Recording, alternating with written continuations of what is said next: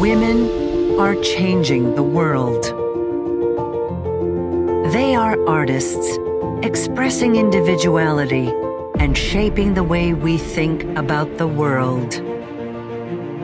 Some are trailblazers, overcoming the impossible and defying expectations. Others are leaders, breaking glass ceilings and inspiring women everywhere to do the same. Many are innovators, advocating for change and challenging a new generation.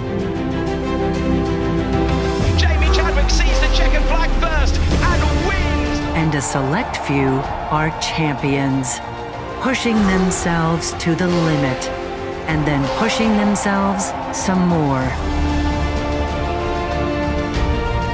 These are the women who leave their mark on the world. Women who show us all what is possible. Women who are changing the world.